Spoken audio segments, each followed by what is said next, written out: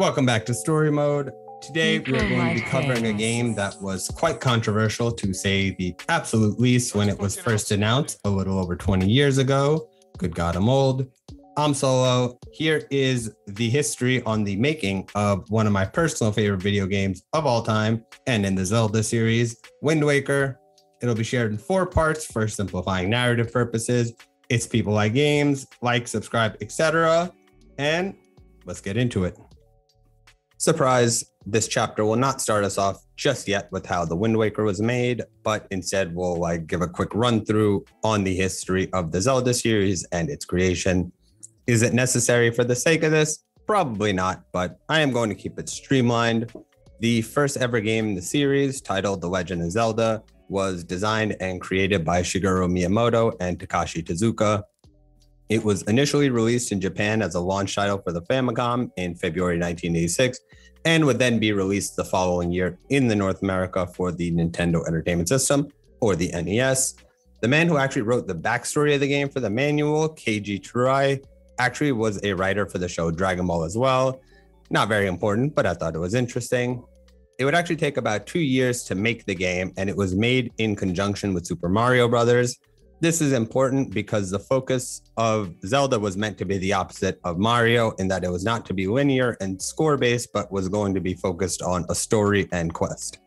Miyamoto was intent on creating a miniature world in the game, and Tezuka himself was inspired to create a fairy tale similar in setting to the fantasy books of J.R.R. Tolkien, who, if you're not familiar, wrote The Lord of the Rings. The coming of age motif was used in the games as the basis for the story, which is usually the case in epics. And funny enough, the name of the princess was taken, and I didn't know this before starting the research, from Zelda Fitzgerald, the wife of one of my own favorite authors, F. Scott Fitzgerald. He's the guy who wrote The Great Gatsby for people who remember what books are like. The series and many of the games of it are considered rightfully so amongst the best games ever made, a feat that would be further cemented in the years to come but especially during the Nintendo 64 era, during the time of back to back releases of Ocarina of Time and Majora's Mask. Quite interesting and fascinating indeed, Solo. But this is the part of the story where we then pivot to the development of Wind Waker. The conception and development for the game actually began in 2000, prior to the completion of Majora's Mask for the N64, and actually literally before the completion of the actual GameCube itself. Eiji Aonuma, who had directed Majora's Mask, was brought back to direct the project and partnered alongside the series creator Shigeru Miyamoto and Takashi Tezuka, who I'd mentioned earlier. The early concepts of the game designs were meant to follow the realistic and serious designs of Ocarina of Time and meant to showcase the graphics possible with the new upcoming system's capabilities. This was the driving force of the creative team as they set out to make a small sample clip to showcase for the public. The clip would feature a fight between Link and Ganondorf and would be demonstrated to much acclaim at the 2000 Space World Exposition an old school Japanese trade fair show that Nintendo used to host. But while the fans loved what they saw, the game's director, Eiji Aonuma, and his creative team were less than enthusiastic. The design process was proving difficult for everyone involved because they wanted to do something a bit more inspired than a retreat of Ocarina of Time.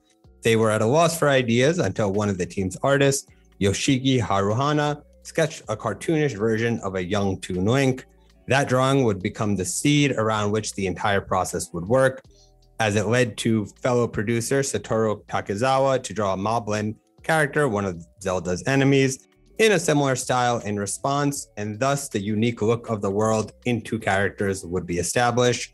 That's according to Takizawa himself, who said during an interview that the visuals for Link and the Moblin started everything.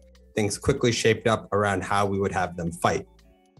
This, of course, would be in the time in between the 2000 Space World showing that their own wives being interested in what they were working on for the first time ever. As Takizawa said, we were able to create visuals where we could get someone who doesn't usually play video games to want to play one. Thus, the team decided to focus on the new gameplay and combat possibilities opened up by the cel shaded graphics, one that they found felt a lot like an interactive cartoon. For the graphics familiar, the game was built using Maya 3D tool alongside a custom game engine. For the actual setting of the game, according to Aonuma, we decided to set the stage of the game out on the ocean. We talked about how one gets around on the ocean from island to island. And obviously, the best option for this would be a sailboat. That's how we ended up with the game where the wind was blowing constantly around the lands to allow the player to sail and get from place to place. An updated demo clip was then shown the following year, which I know pretty goddamn wild considering that they got that much done that quickly at the 2000 Space World Expo, the same place once again. This would set off one of the most hilariously overblown fan reactions of all time, with the backlash decrying the move from realism to a Zelda for kids, a reaction that ended up annoying Miyamoto, who already had been skeptical of the design choice, but would go on saying, Well, we want to make games for kids. And as we know, sometimes change is unlike simply for being changed, not for what's actually being presented. But I loved it then as I do now. However, it would take an additional year, but the Wind Waker would get finished up quickly. It took only two and a half years from start to finish, but The Legend of Zelda Wind Waker would be released in Japan on December 13th, 2002, and in North America on March 24th, 2003. It would, of course, release to widespread critical acclaim as it should have. The detractors of the art style will still exist because that is a relative preference. It was hard to deny, however, how well made the game was, including its combat mechanics and fresh spin to the Zelda formula. As to whether the design would ever return with the sequel or future iterations of the game, Miyamoto himself said, with regards to Zelda, it's not so much that we want to go with toon shading in the future, but we're really happy with how Link came out in this game this was a very interesting quote. The fact that the artwork on the package can match the artwork in the game is great. In the past, you you might have had the Game Boy Zelda game where the artwork style didn't match the game. We wanted to cut back on the aspect and have the same link across the different media types inside and outside the game. And there you have it, folks. It was remade for the Wii U in 2013. That could be a little bit addition or added on, but I'm not going to get into that for now that is as in depth as possible look at the way that Wind Waker was conceptualized and would go on to release. So, um, hope you enjoyed the episode, and we'll be back with a lot more content soon. I'm Solo. It's People Like Games. Like, subscribe, etc. Show some goddamn love.